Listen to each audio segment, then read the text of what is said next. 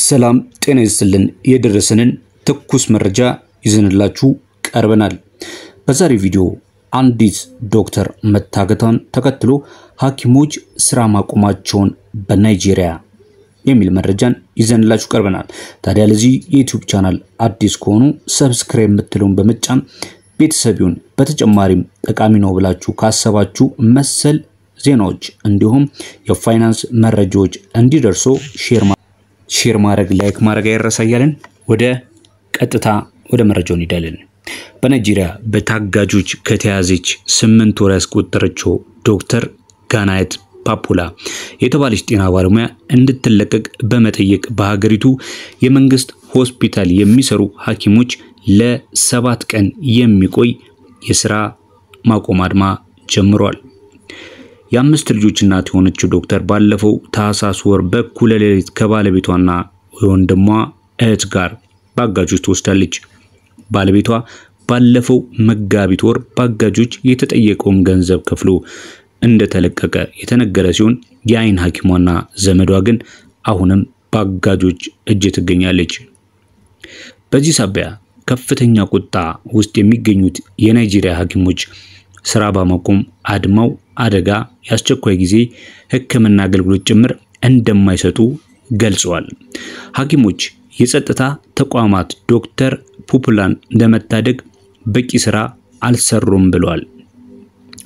የናይጄሪያ ሐኪሞች ማህበር ፕሬዝዳንት ዶክተር ዲሌ አብድላሂ በሐኪሟ እገታ ሳቢያ ቤተሰቦቿና የስራ ባልደረቦቿ ላለፉት ወራቶች ጭንቅ ላይ ናቸው ብለዋል።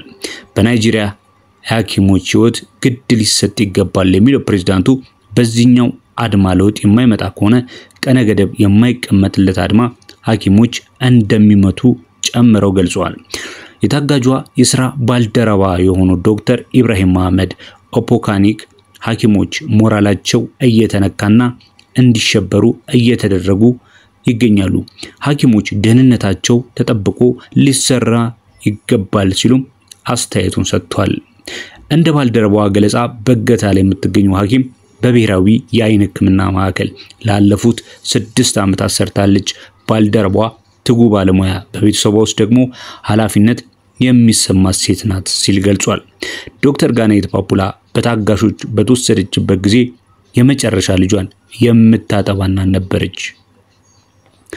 በናይጄሪያ ምዕራባዊ ክፍል ካዱና ግዛት የሚገኘው የአይን ሆስፒታል በሀገሪቱ ከሚገኙ ትልቅ ሆስፒታል አንዱ ነው። ሆስፒታሉ ከከተማ መውጫ ላይ መገኘቱ አጋጆች ተጠቂዎችን በቀላሉ ኢላማ እንዲያደርጉ እንደረዳቸው ይነገራል። የሐኪሟ መኖሪያ ቤትም በሆስፒታሉ ክልል ውስጥ የሚገኝ ነው። ከሶስት ዓመት በፊትም በርካታ ተማሪዎች ከዚህ ሆስፒታል አቅራቢያ ወደሚገኝ ጫካ ታግተው ተወስደው እንደነበር ይታወሳል። የዶክተር ፓፑላ አጋጆች 40 ሚሊዮን ናይራ ወይም ደግሞ 25000 ዶላር የሚሆን ገንዘብ ለማስለቀቂያ ጠይቋል።